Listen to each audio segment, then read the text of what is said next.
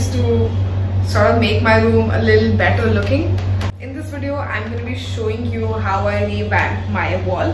That's basically the wall that is behind me. Just this portion. And if I get a little crazy, I might do the whole wall soon. I don't know. I don't know. Anyway, I'm going to show you what pieces I'm going to I have curated for the wall, how I chose them, where I found them, and how I'm gonna get them printed. Yeah, there's not much to it. I have around like five pieces already on there. This is an image that I clicked. This is from my friend Azay. He's an artist. This the orange one is something that I made for a friend, and the green one is a dead parrot. I found all of my posters on Pinterest and made a folder the folder has around 63 pins out of which I only printed out 20.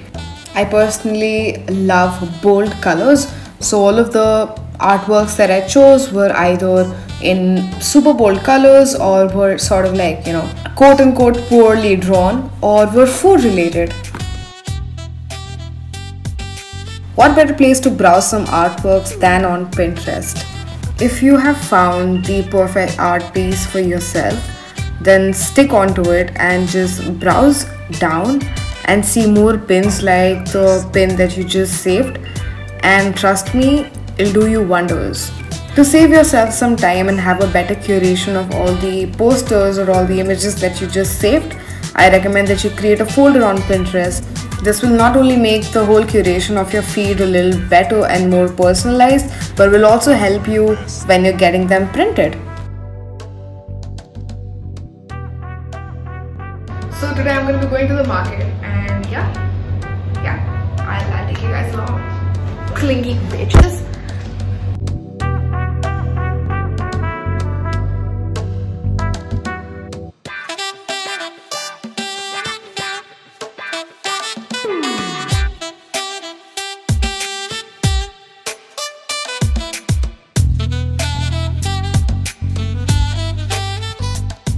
Got my prints and I am excited. It costed me 490 rupees, 12 rupees per picture they said. So that was 250 rupees, no 240 rupees and then 250 they took for editing and all that shit. Because I just gave them pictures and they were to sort of like put it in place. Which I think is a lot, 250 is a lot. But yeah, 490 in total. Ouch. What fun. Got him. नीचे उतरो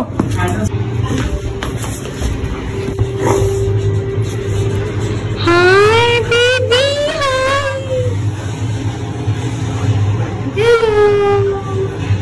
I am home and I want you all to completely ignore the fact that I don't know how to do my under eyes.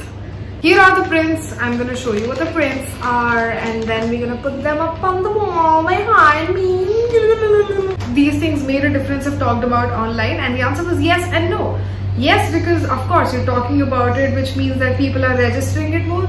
No, because it's an echo chamber. It sucks because a lot of people don't give a frig, a single frig about climate change. Yeah, you see it happening, you're living it, people are like, oh my god,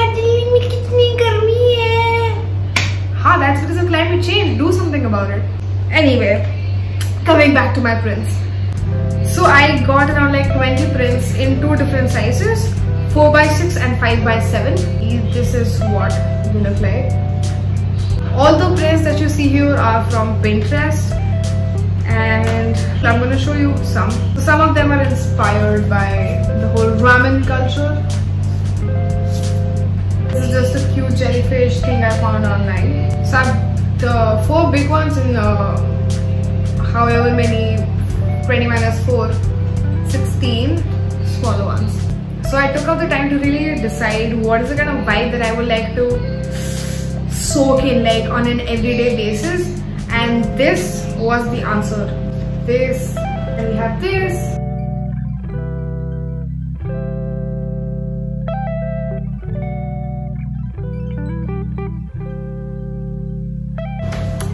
done. I readjusted them a little bit. So because there was a gap for so I just like squeezed it all in together.